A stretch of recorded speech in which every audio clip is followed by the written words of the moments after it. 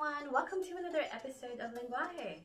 From now on, I will be calling this Kwentuhan lang and Kwentuhan is, it means chit chat in the Philippines and that's my favorite way to spend time with my loved ones and friends and families and yeah. So yeah, kamusta po kayong lahat? Mabuti naman po ako. So um, in this episode, I will be sharing 10 things that you should try and enjoy while you are in the Philippines. So Unfortunately, I'm not going to talk about, you know, the islands to go to, the activities around there. This is mainly going to be in the city. So I grew up in the city. I'm such a city girl.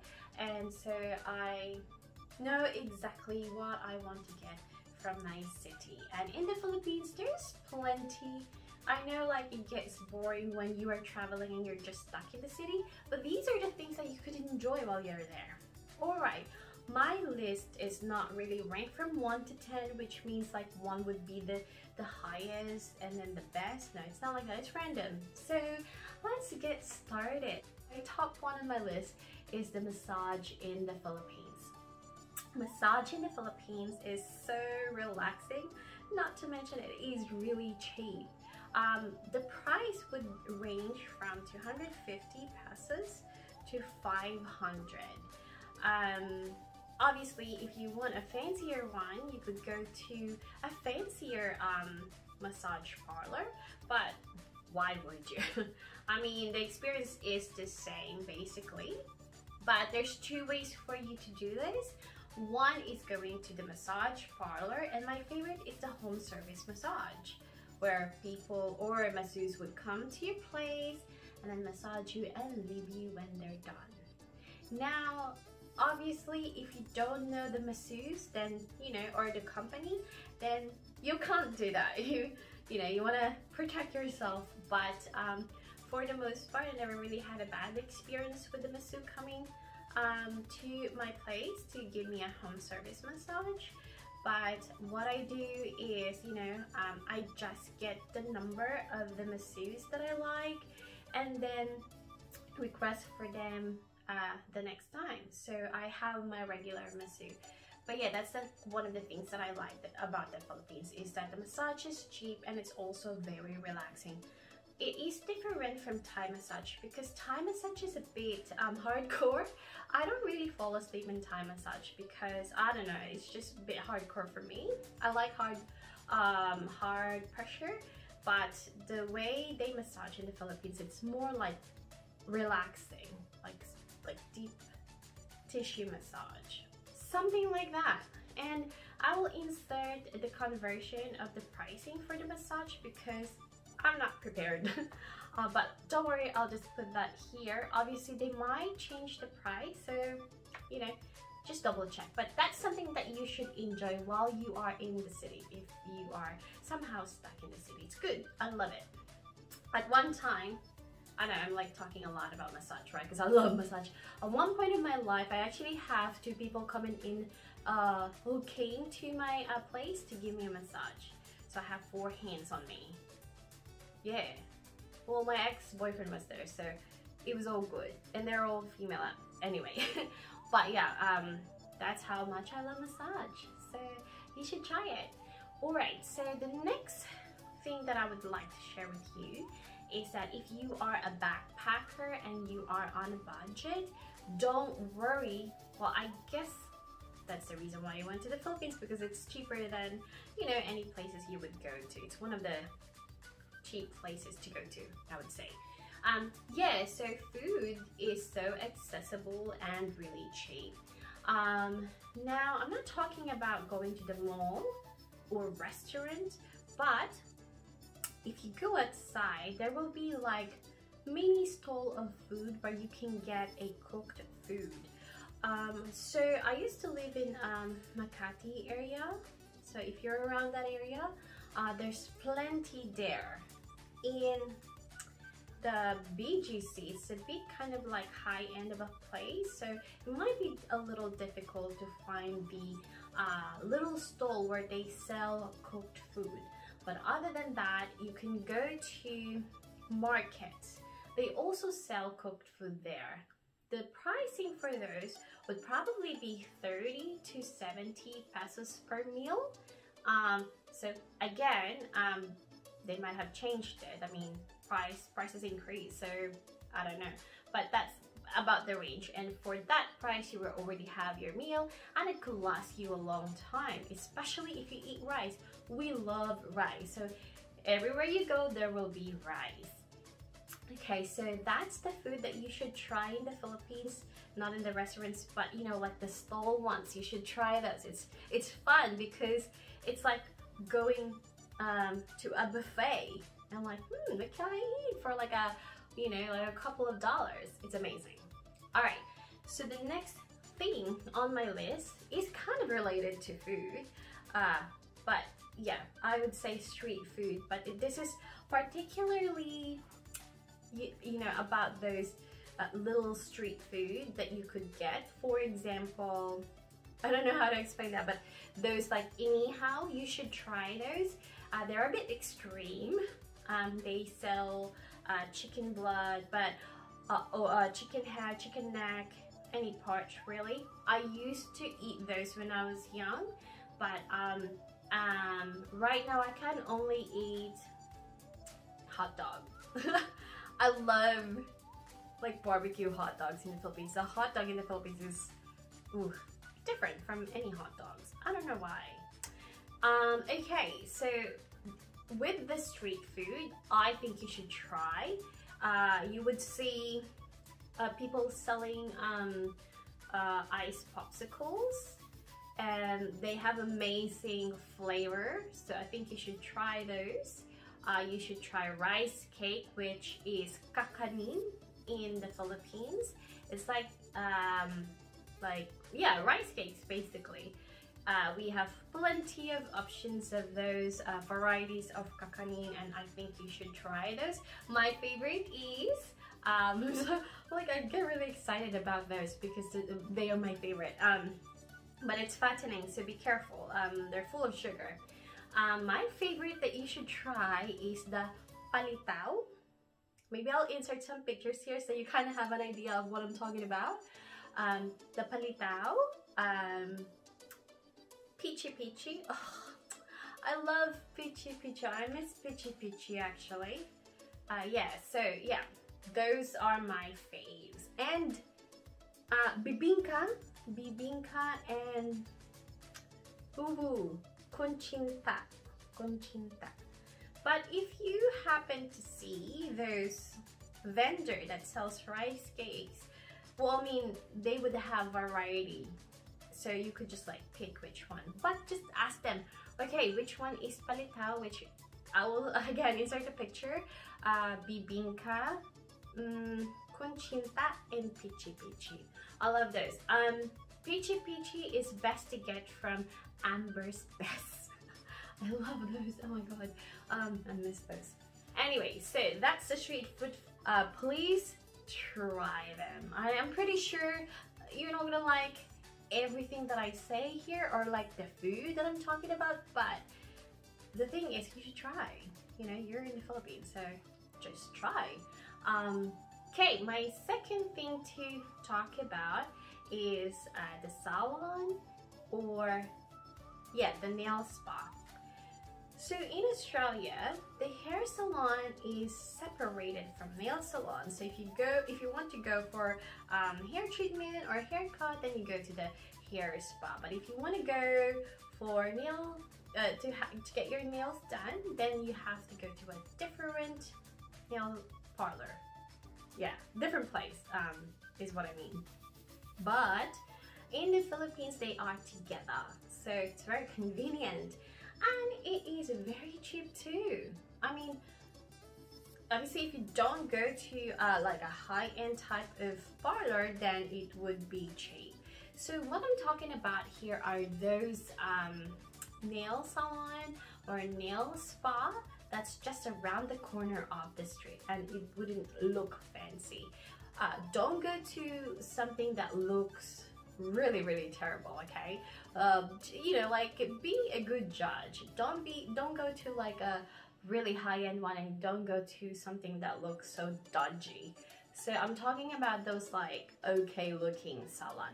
So the pricing for the um, hair, uh, sorry, nails manicure would probably be around 50 to 70. They probably change it now. Um, but hello, that's super cheap. You know, like it's $60 to get this done, although this is an um, acrylic and uh, shellac, so it's a bit pricey, but it's not, the cleaning of your nails is not included in that $60.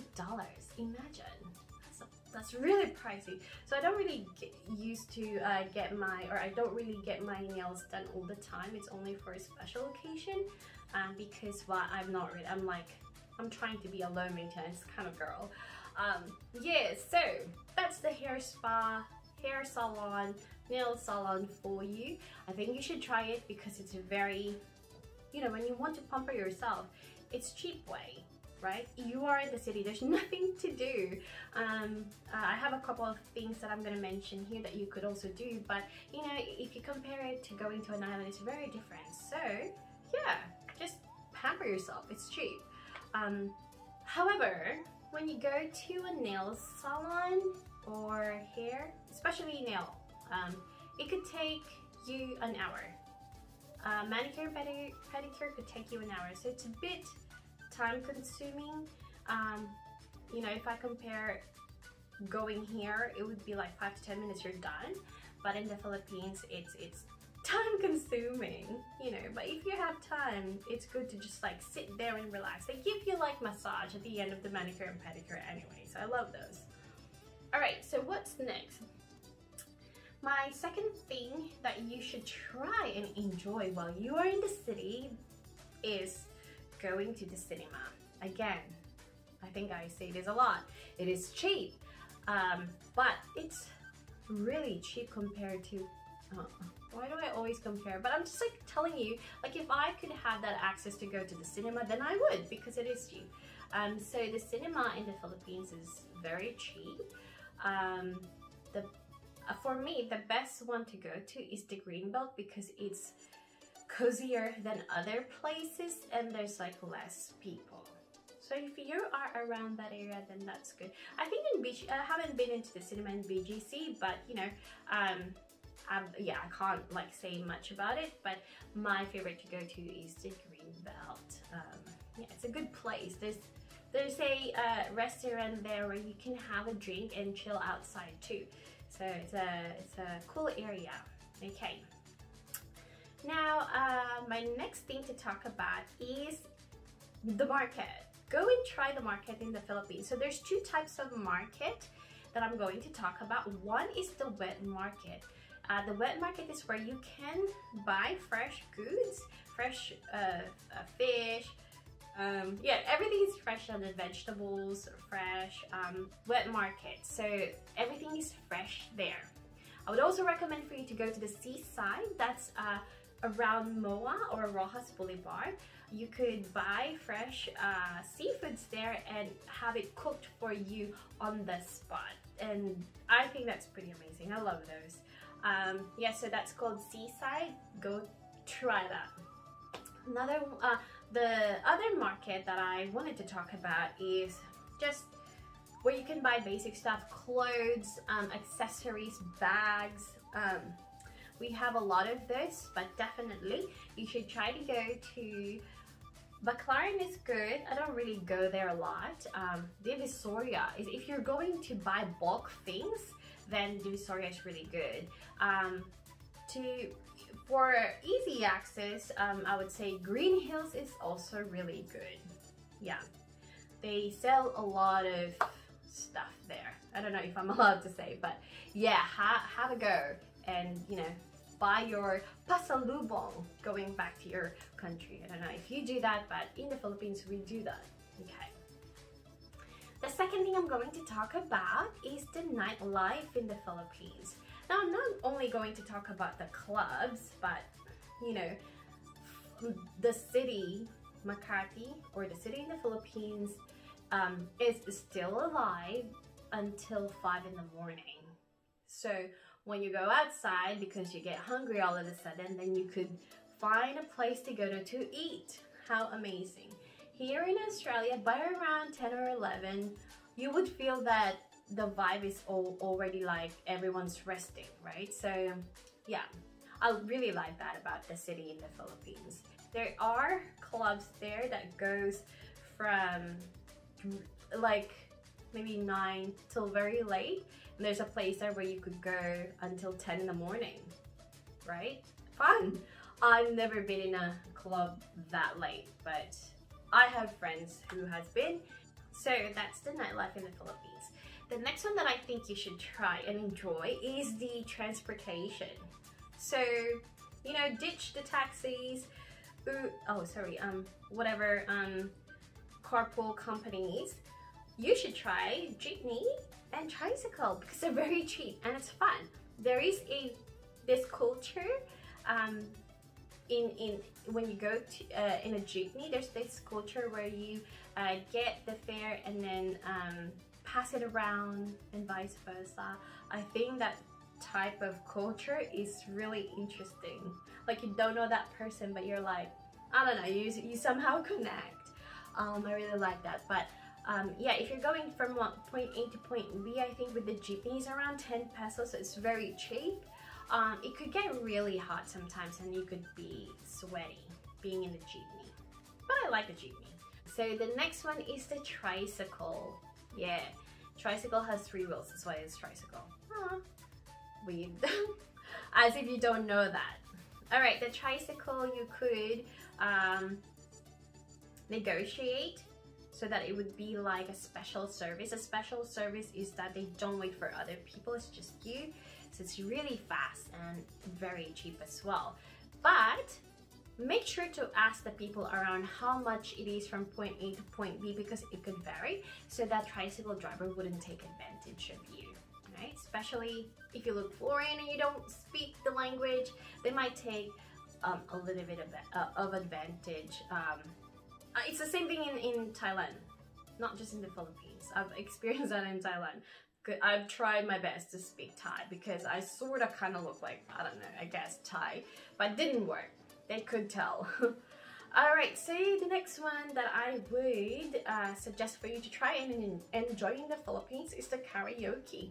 Especially if you have Filipino friends, Filipino loves to sing. It's like a, a good way to get to know someone. And you don't even have to go to karaoke uh, bars, but you know, we do uh, sing a lot. So maybe you could sing um, from, I don't know, like TV or whatever, like using TV or those um, karaoke machine. Um, yeah, but you should really try the karaoke because it's a, it's a Philippine culture. It's really part of us. And, you know, it's something that you would say like, oh, I've done that. I've tried that with a, the local. And you would see how people kind of um, kind of warm up to you fast when there is karaoke and there's food on the table. We also love to eat. Um, I love to eat. Okay, the last one that I'm going to uh, suggest to go and try is going to the mall in the Philippines. Um, you know, I would just say this because we have a lot of malls in the Philippines and I think just seeing the difference between them and like the culture of having a lot of malls in the Philippines and how people, um, the, the, the behavior of people inside the mall, you know, things like that. Like why are there so many um, malls in the Philippines? I think that's like a, a good way to experience um, because I don't know, um, the, the malls in the Philippines, um, it's very, we have a lot. So basically, we love malls and it's the way for us to also um, chill because it's really hot outside. Usually in the summer, you would see a lot of people going to the mall. There's plenty of interesting malls in the Philippines. So one of them is the Mall of Asia, where it's in the surface of the water. So that's pretty cool. And it's the biggest mall in Asia. So um, I've had friends who actually asked me to take them to Mall of Asia because they've read about it. Um, I thought that was pretty weird, like why would you want to go to the mall? But yeah, I could understand that. But yeah, so those are the 10 things that I think you should try and enjoy when you are in the city. Okay? And there could be other than that that's that's better, but for me, those are the things that you should try if, you know, you don't have anything to do. Let us know what you want me to cover for the next episode of Lingwahe. But other than that, please don't forget to subscribe and hit the notification bell below. I don't know if it's here. And I will see you again next time, guys. Salamat po. Bye-bye. Ready, steady.